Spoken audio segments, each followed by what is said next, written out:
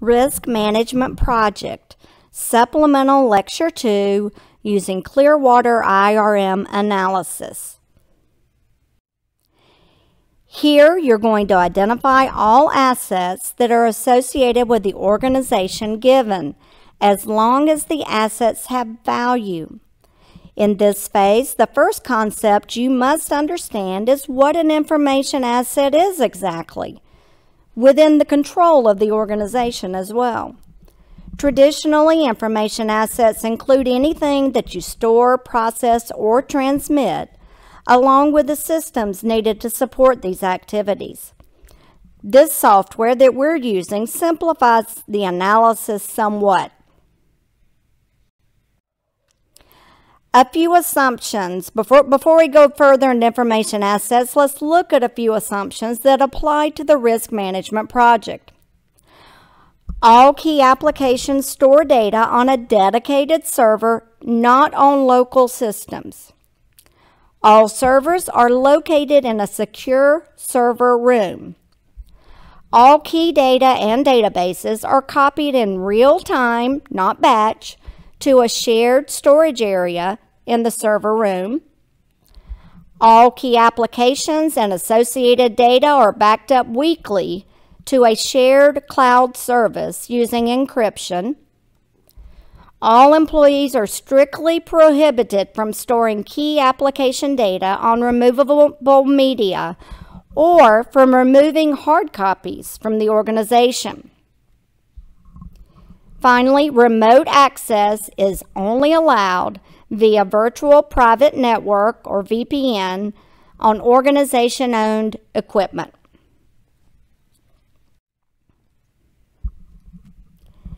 We already went through some examples of information and information assets.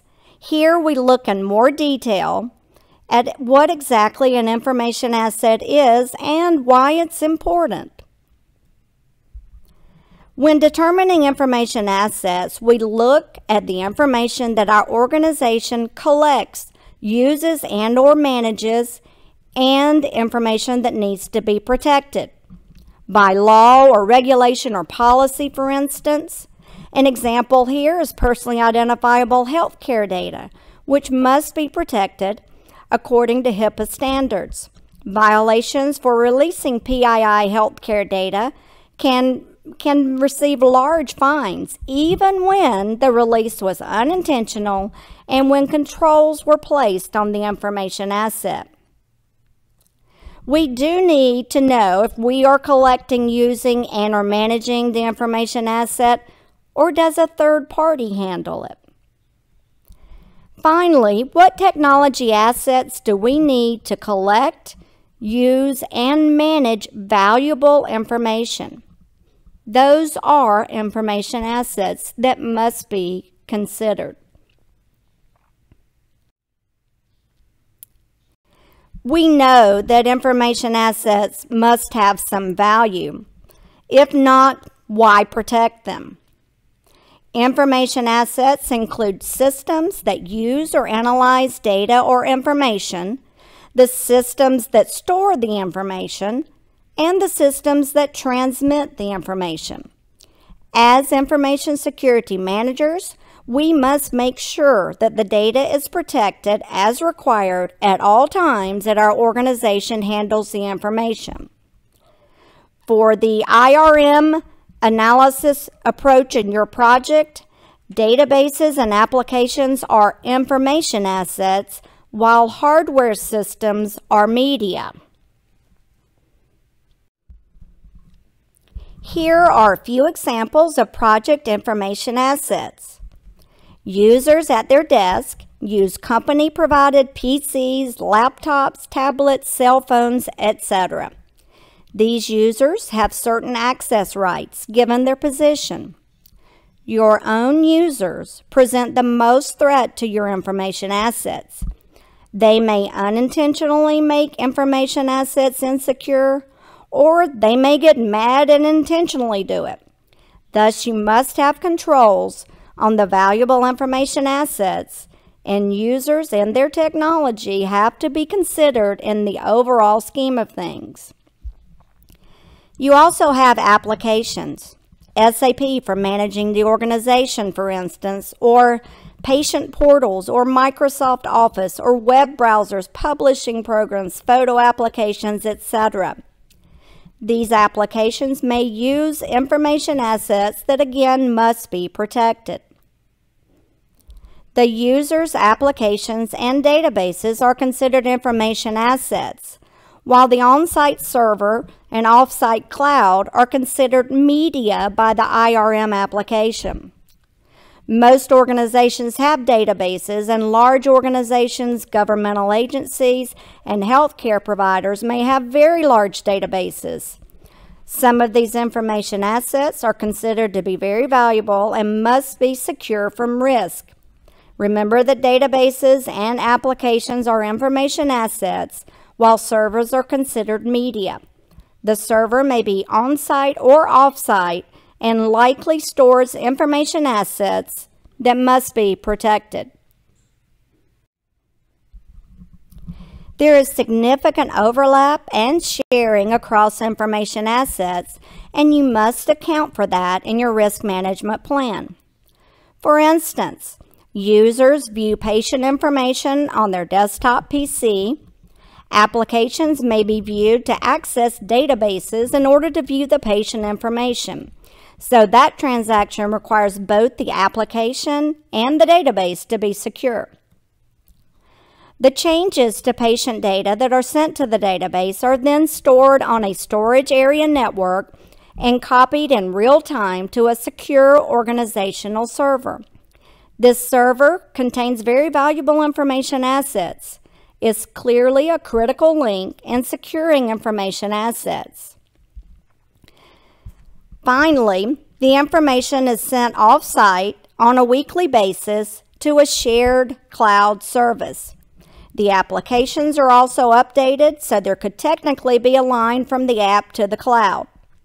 You can see the, that most information assets are linked in different ways on different applications with restrictions on access and with storage on-site and off-site, both of which must be secured to protect the information assets. Let's look at information assets and provide some examples. For this example, we'll use an employee database, something that all of you are probably familiar with. The employee database is a data asset which is accessed and used through the HR information systems. It includes transactions such as time management, payroll, benefits, and performance review. These information assets use the media listed here. The media for equipment and backup includes the HR server, which is located in a secure server room, the SANS backup server on site, the off-site cloud, and employee desktops and our laptops. Note that all external media or bring your own devices are strictly prohibited. That simplifies the analysis for you. Also note that you can use the combined desktop laptop option for, to further simplify your analysis. So let's look at some specifics. First, you need to download the Word document associated with the project. In that document, you'll find a set of tables. You need to sit down and think through what should go into the tables before you get into the software. What are the information assets you're going to put in the table? It's best to sit down, think about it, and brainstorm what you're going to fill into the documents you've downloaded. Have a good plan in place prior to beginning. Let's first look at the Asset Inventory Table, part of the Word document you downloaded. First, you need to list the assets. For instance, the employee database could be an information asset. For the media, if you remember, that's the desktop, laptop, or the HRIS. Or media could be the organizational SANS, the cloud backup. So that's those four. The owner would be the individual authorized to create and assign rights to the information assets. So, for our employee database, the HR senior manager is responsible for establishing rules for authorized access. Note that all of the owners will not, not, not be the CIO. That's a common mistake. The CIO doesn't create and assign access rights, although they may take the HR senior manager's information and make it happen for the database. But ultimately, it's the HR service manager who is authorized to provide access to those individuals and nobody else who need access. The data belongs to the business manager most closely associated with the information asset. With that in mind, the Chief Operations Officer is responsible for information assets related to operations and production types of information assets. The CIO, in turn, is responsible for IT information, and you continue an analyzing information assets based on the business manager most closely associated with the information asset. The last column is labeled classification. That's leftover military nomenclature, which could be top secret, secret, etc. If you look through the book and get a feel for different classification schemes used by organizations, you then classify according to the scheme you selected, or come up with your own. As long as you define what you mean, use a classification scheme that seems to be a good fit for describing the information assets, then that is suitable. This brings us to the Asset Classification Scheme Table, another portion of the Word document you download. Here, you list your classifications like top secret, secret, confidential, for internal use only, public, etc. I advise you to use no more than four levels unless there's a good business reason to do so. Most organizations only need about three levels some sort of high level classification, something like internal use only, public, may be released, for example, in a brochure or online. Once you complete this table, you return to the prior table and classify all of your information assets. Thus, our employee database might be classified as internal use only or something to that effect. Our planning database, where we store our strategic plans, however, might be classified as confidential or classified or restricted or whatever terms you established in the asset classification table. For this asset inventory table, it has 20 rows. I challenge you to find as many information assets as possible and complete the table using that information. There's no magic num number, somewhere greater than 10 and less than 100. Then you're going to determine how important each information asset is to your organization. There's a formula you will use to establish importance and you'll input that information into the software. Ultimately, you will rank order your assets to find out which ones are the most valuable. Once you have the criteria and weights listed, you take the information assets and add them to the table one by one. You need to find criteria that are important to the organization and that will help you evaluate the information assets value to the organization, cost to replace, all of those kinds of things you would list at the bottom of the table under criteria description. List the criteria and provide a brief description of each. Then you'll replace CRIT 1, which is criteria 1. You do that for each of the criteria you create. For each information asset, you then examine the relevance of each of the criteria to that particular information asset. The values, however, do not have to add to 1 or 100%.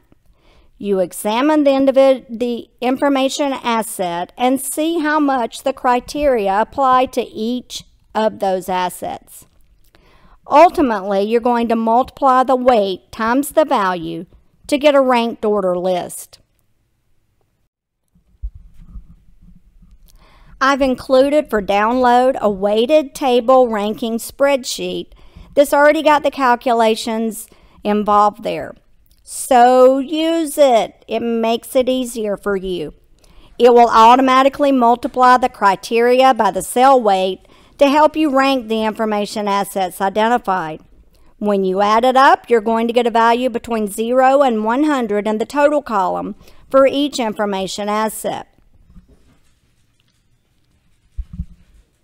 Then you determine the relative weight of each of the criteria from most to least important. If you have five criteria, you're going to divide 100 points so that the sum of the relative weights of the criteria equals 100 for each information asset labeled. Five criteria is the most common, with four indicating you need to rethink what's important in your organization, with less than four indicating you need to rethink what's important to your organization and why. You may have six or more, but I suggest keeping it simple and going with four, five, or six criteria. Then you populate the importance of the criteria listed. You could take the easy way out and list 20 points for all of them, but that suggests a lack of understanding of the organization. Instead, you may have 30 points for criteria 1, 15 points for criteria 2, 40 points for criteria 3, 10 for criteria 4, and 5 for criteria 5, which sums to 100. The higher weights indicate the importance of the criteria to the organization.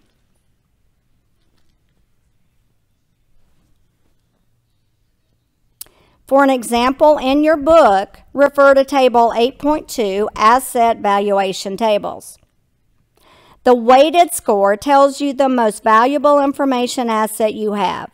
In reality, you're going to end up with 15, 20, or even more information assets. If you make changes to the downloaded spreadsheet, you will have to recheck the formulas to make sure that they still work properly. So we, we've done our weighted asset ranking and we know which items are most important on a scale of 0 to 100. For instance, we may define values of 80 or plus to be rated as a 5 or very critical. 60 to 60 to 79 values rated as a 4 or critical. 40 to 59 rated as 3 or very important. 20 to 39 rated as 2 or somewhat important. 0 to 19 related as 1 or not important. You're going to need the relative weighted values when you actually get into the software. Make sure to complete the importance column of the spreadsheet after you determine the value of each information asset from 0 to 100. The very last thing you will do is sort the table on the total column, sort in descending order so that your most important information asset is at the top. There is a software tutorial that describes how you enter everything into the application. To summarize, review the Word template prior to even looking at the software. Complete the forms and the weighted analysis. Enter information into the application. Follow all the guidelines given. And you're finished.